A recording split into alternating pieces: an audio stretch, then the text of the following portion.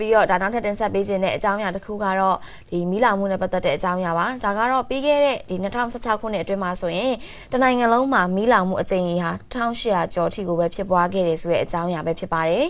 ပြီးခဲ့တဲ့2016ခုနှစ်မှာတစ်နှစ်တာအတွင်းဒီတနိုင်ငံလုံးအတိုင်းအတာအနေနဲ့ကတော့မီးလောင်မှုအကြိမ်ကြီး1800ကျော်ဖြစ်ပွားခဲ့တယ်လို့မြန်မာနိုင်ငံမိသက်ဦးစီးဌာနရဲ့ဒီသတင်းထုတ်ပြန်ချက်တွေအရသိရှိရတာပါရှင့်ဟုတ်ပါတယ်ပြီးခဲ့တဲ့နှစ်တစ်နှစ်လုံးရဲ့မီးလောင်မှုစည်ရင်မှာဆိုရင်အကြိမ်ရအတွက်အများဆုံးပြည်နယ်နဲ့တိုင်းဒေသကြီးတွေအနေနဲ့ဖော်ပြရမယ်ဆိုရင်တော့ရှမ်းပြည်နယ်မှာဆိုရင်236ကြိမ်ရန်ကုန်တိုင်းမှာဆိုရင်တော့220ကြိမ်နဲ့မန္တလေးတိုင်းမှာဆိုရင်တော့212ကြိမ်အပြင်စကိုင်းတိုင်းမှာတော့အကြိမ်ပေါင်း180နဲ့အများဆုံးမီးလောင်ကျွမ်းမှုတွေဖြစ်ခဲ့တာဖြစ်ပါတယ်။ဒီလိုမျိုးမီးလောင်ကျွမ်းတဲ့နေရာမှာဆုံးရှုံးမှုတွေအနေနဲ့ဆိုရင်ပြည်내နဲ့တိုင်းဒေသကြီးအသီးသီးမှာစုစုပေါင်းအနေနဲ့အင်ဂျီအစအုံပေါင်း9818လုံးနဲ့သေဆုံးသူလူဦးရေကတော့68ဦးထိရှိခဲ့ပြီးဒဏ်ရာရရှိခဲ့တဲ့လူအရေအတွက်အနေနဲ့ဆိုရင်တော့163ဦးနဲ့ဒီမီးလောင်မှုကြောင့်ကိုပဲမီးဘေးအန္တရာယ်ဒုက္ခတွေအနေနဲ့ဆိုရင်တော့ 12134ဦးထိရှိပြီးတော့ စုစုပေါင်းဆုံးရှုံးမှုတွေအနေနဲ့ကတော့ငွေကျပ်သန်းပေါင်း